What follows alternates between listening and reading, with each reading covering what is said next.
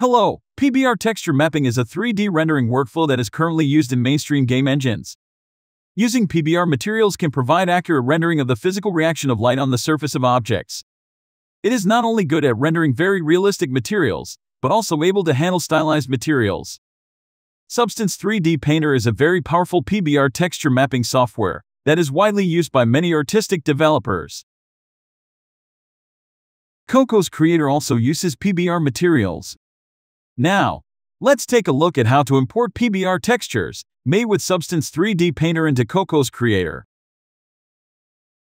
First, we need to know which PBR materials Cocos Creator supports. Create a default material, and we can see that the default material uses the built-in standard shader, which we call PBR materials. PBR materials use the workflow in the PBR process. When using PBR materials for rendering in Cocos Creator, we need at least three basic textures. 1. Albedo map. 2. Normal map. 3. PBR map. The albedo map is used to show the basic color information of the material without lighting conditions. The normal map is used to show the surface structure details of the object. The PBR map is a kind of blended texture, with each of the R, G, and B channels containing a separate map. The R channel is an ambient occlusion map, the G channel is the roughness map, and the B channel is the metallic map. After understanding these basics, we can start learning how to import PBR textures made with Substance 3D Painter into Cocos Creator. Open Substance 3D Painter. We have already created the material and textures for the model, and now we export these textures. Click File, Export Texture, Select the Output Templates panel. Shortcut key is Ctrl plus Shift plus V. We can see that Substance has many default output templates for us to use, but none of them are suitable for Cocos Creator. We need to create a new preset template for Cocos Creator PBR materials, and then use this template to export the textures. Click the plus sign next to the presets to create a new preset and rename it to Cocos Creator PBR. Now we have created a blank preset. First, we create an albedo map. Click RGB plus A. The albedo map contains color information and an alpha channel. Name it dollar texture set albedo. Content starting with a dollar sign is an expression for naming the prefix of the texture. Dollar texture set means that the prefix of the output texture name is the material's texture asset. In this example project, the texture asset name is droid. So dollar texture set albedo means that the final output texture name is droid albedo. Click the dollar sign next to the name to see a total of five prefix expressions. Dollar project means that the prefix is the project name. Dollar mesh means that the prefix is the model name. Dollar UDIM means that the prefix is the UDIM name. Dollar color space means that the prefix is the color space name. You can also add multiple prefixes at the same time, such as $project $texture set albedo. Drag the base color in the Input Maps panel into the RGB field of the new map. Choose RGB channels. Drag opacity into the A field of the new map to add an alpha channel to the texture. Choose gray channels. The albedo map is now created. Next, let's create a normal map. Click on RGB and create an RGB map named $texture set normal. Drag the normal OpenGL from the Convert Maps panel into the RGB column of the new map. Select RGB channels.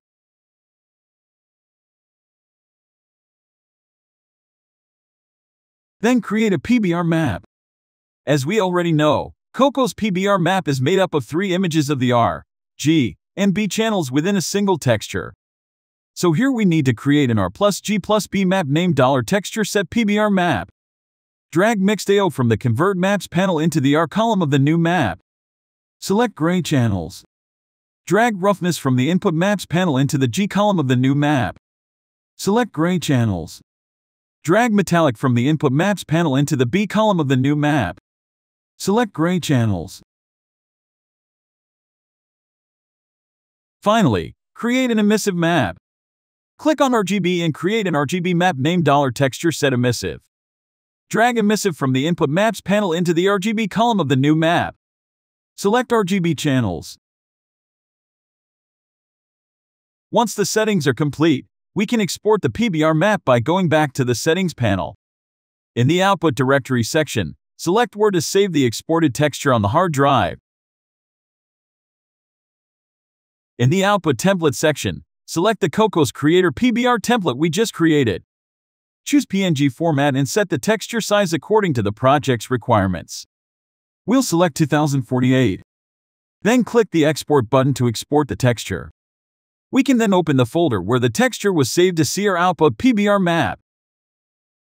After creating the PBR map, let's see how to import and use it in Cocos Creator. Let's start by creating a new project. Open Cocos dashboard and in the project panel, click New. Select the Cocos version. Here, we're using version 3.6.0. Click the empty 3D project template. Enter the project name, select where to save it on the hard drive, and then click the Create button. After a moment, the project will be created. Open the newly created project. Right-click in the Assets window and select Create Folder to create a folder named Droid. Then create another folder named Models to store our model files. Create a folder named Materials to store materials. Create a folder named Textures to store textures. And a folder named Scenes to store scene files. Right-click in the Scenes folder and create a new scene named Droid. Double-click the scene to open it. We'll now have an empty scene. Next, import the model and texture.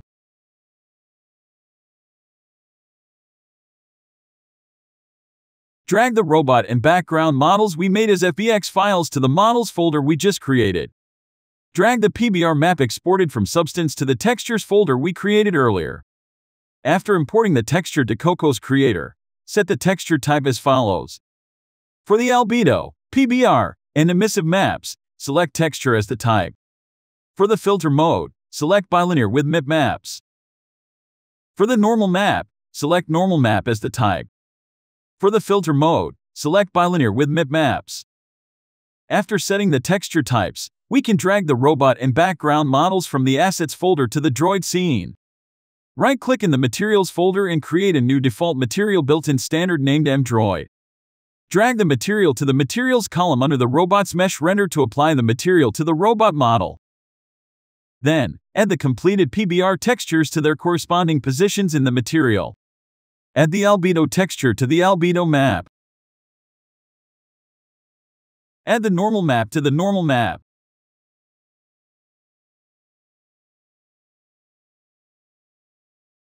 Add the PBR texture to the PBR map.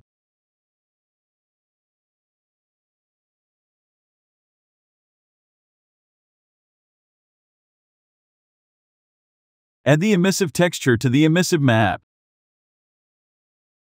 Then, we need to enable Use Alpha Test to make the transparent parts of the material transparent and adjust related material parameters. First, enable double-sided display of the material, find the cull mode property of the material, and change it to none. Then adjust the other material parameters. Roughness is the roughness coefficient that controls the roughness of the material. Metallic is the metallic coefficient that controls the metallic properties of the material. Occlusion is the ambient occlusion coefficient that adjusts the effect of AO. We can adjust these parameters according to the needs of the project. Create a background material. Right-click the Materials folder and create a new default material named MBG as the background material.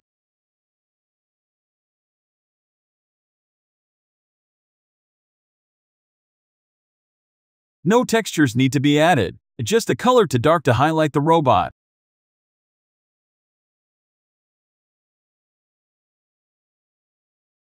After the material settings are complete, let's adjust the ambient light and main light source and enable shadows. Select the scene droid in the hierarchy and adjust the parameters in the inspector panel on the right. Select the second type for the ambient light type. Select a suitable HDRI texture for the environment map of the skybox. Here I use an indoor environment HDRI texture. Adjust the sky lighting color and ground lighting color to match the color of our HDRI texture, and adjust the brightness of the sky to 25,000. Enable the Scene Shadow option. Select Shadow Map for the shadow type. Set the size of the shadow map to 2048. Adjust the color of the main light source main light to be slightly yellow, simulating the color of sunlight. Enable shadows, select Soft 2x. Then adjust the angle of the main light source. Set the intensity of the main light source to 120,000.